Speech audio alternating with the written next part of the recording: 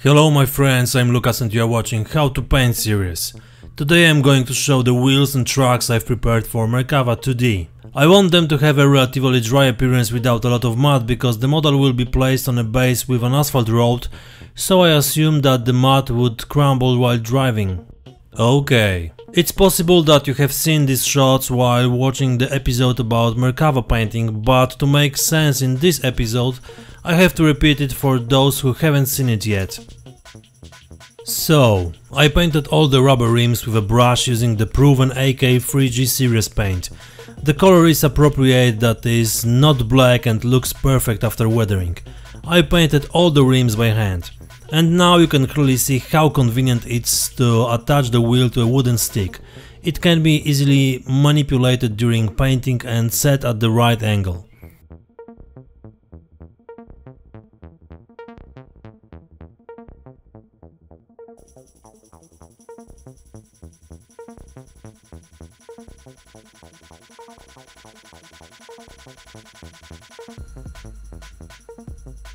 A few of the wheels are completely steel so I painted the rims silver, which will later be treated with a pencil and rubber tip.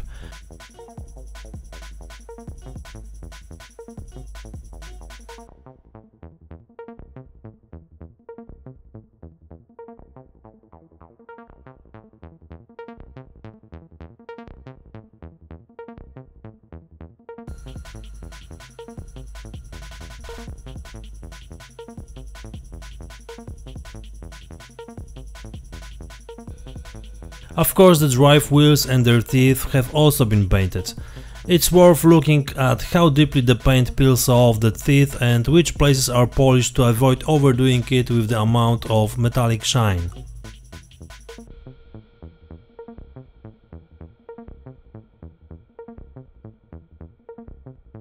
Make sure to like and subscribe.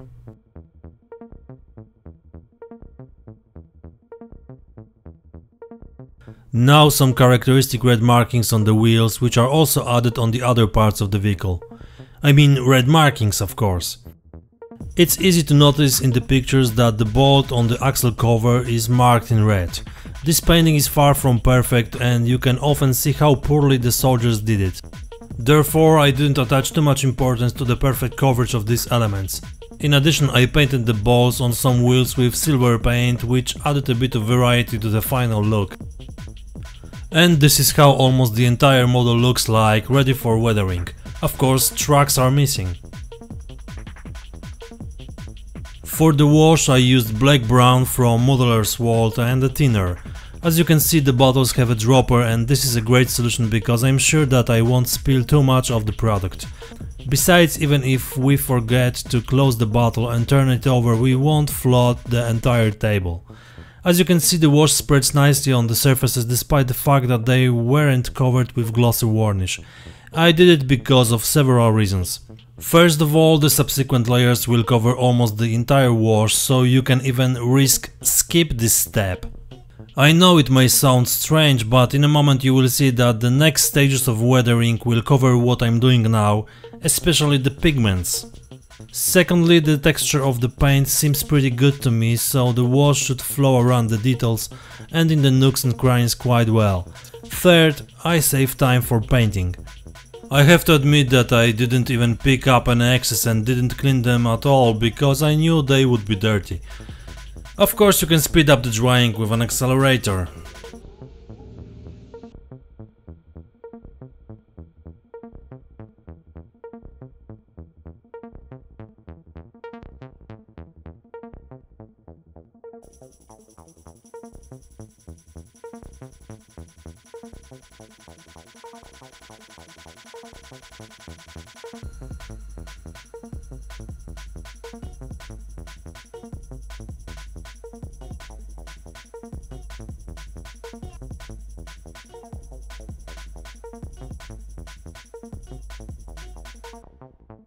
So now it's the trucks time. The whole set is from MasterClub.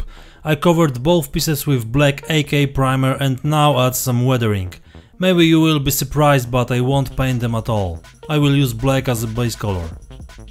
I have prepared a sophisticated sanding tool. I stack sandpaper to it and I can evenly strip the primer coat from the edges of each link. You can do it this way or by holding a piece of sandpaper between your fingers.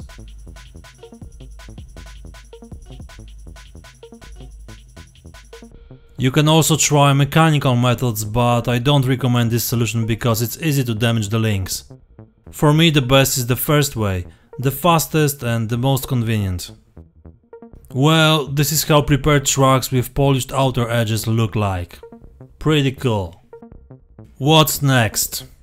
I checked how much inside surface should be polished by all types of wheels. Just in the case of these trucks won't be a problem. Here you can also use a sandpaper but I prefer polishing with a pencil and a silicone tip. The effects are great, the paint stays in place, the work is relatively clean and quick.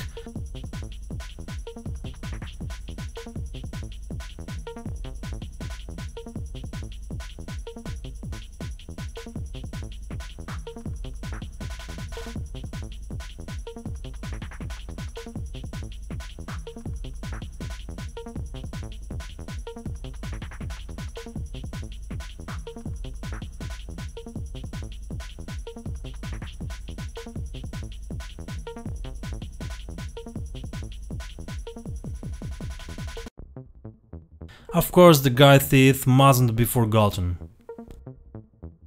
The effects are great, the paint stays in place, the work is relatively clean and quick. I'm really happy with the results. I walked away from the trucks for a moment and with a pencil and a silicone tip in hand took care of the steel wheels. The previously painted silver paint was a perfect undercoat and a bit of graphite did a good job of all the surfaces polished by the trucks while driving.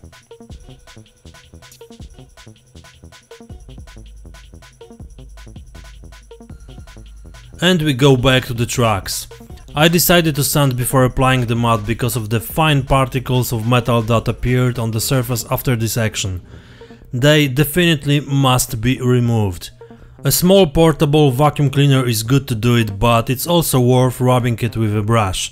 Removing them from the dried mud or dust would be much more difficult and even if now something is left, it will be covered by a layer of dust that I'm about to start applying.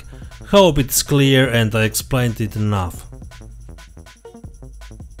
To prepare the right color I used 3 Modellers World products. 3 drops of asphalt street dirt, 5 drops of sand dust and 2 drops of dark rust. I mixed everything up and began to apply with an old brush to the outside of the trucks.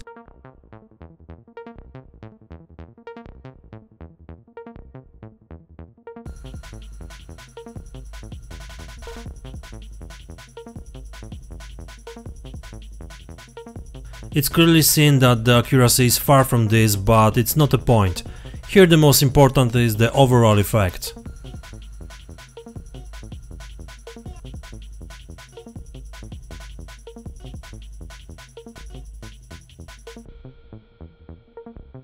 It's worth using the accelerator to make the drying time shorter.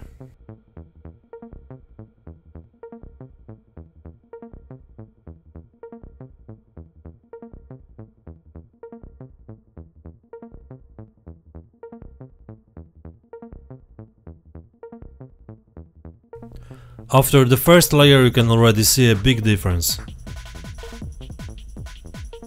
Here you can compare the truck with one layer and without dust. And now two layers on the left and one layer on the right. Somehow it happens that I didn't record how I paint the inside of the trucks, but this trace on the path shows that it was airbrush applied mainly on the edges. I added 5 drops of water to the mixed color for easier flow. Two layers were sufficient and after drying with the accelerator again, I started to clean the previously polished marks with cotton buds. The shine can be tweaked here and there, but it isn't necessary. Time for wheels. Again I prepared a color mixture identical to the previous one with the addition of water, because I will apply it to the wheels with an airbrush.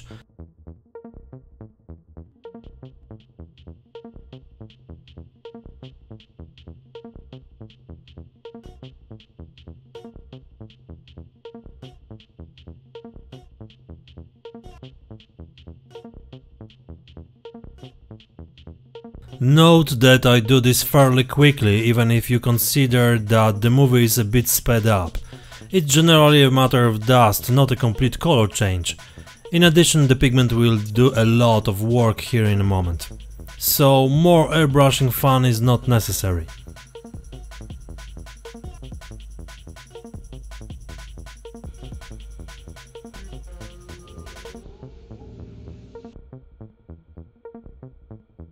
Once again the wooden sticks show how useful they are.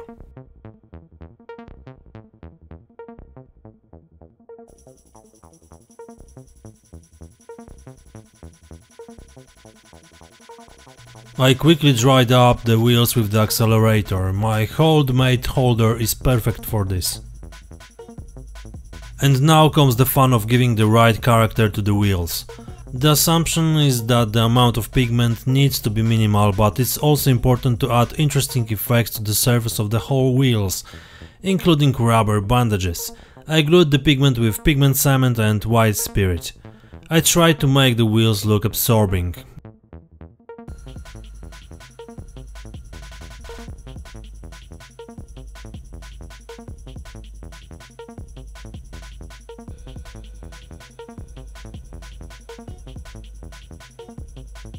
If you've been watching my movies for some time, you probably know that I have a habit of wiping the wheels with my fingers, so I did the same here to get rid of the pigment excess but still left them dusty.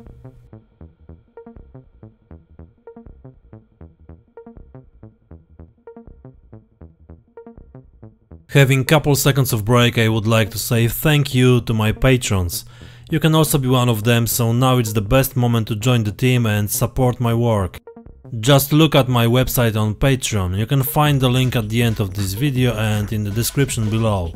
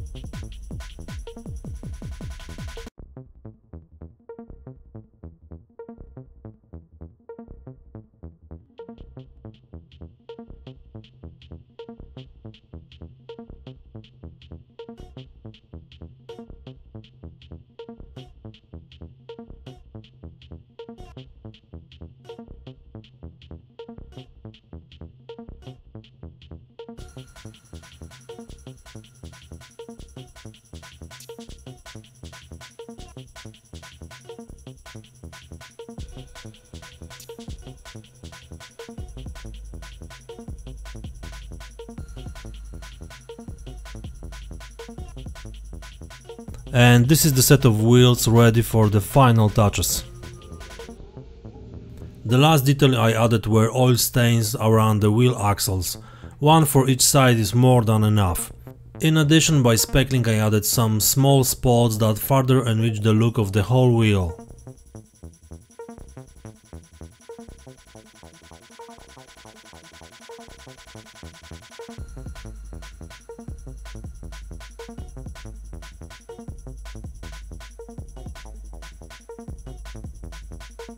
To sum up, I think I managed to achieve my goal and the wheels and tracks look very natural. Let me know what do you think in the comments, I am very curious about your opinion. As you can see, the whole process is very simple and the most important thing is to be moderate if you want the chassis not to be clogged with mud. If possible, check the real vehicles in the photos and draw conclusions. Try to copy, but remember that the model won't look good if we accurately reproduce the dirt from a real vehicle. Trust me, I know what I'm talking about. If you found this video helpful and like it, don't forget to click thumb up. Please consider subscribing to the channel to support my work. Stay tuned for the next episode about Merkava. That's all for today, cheers!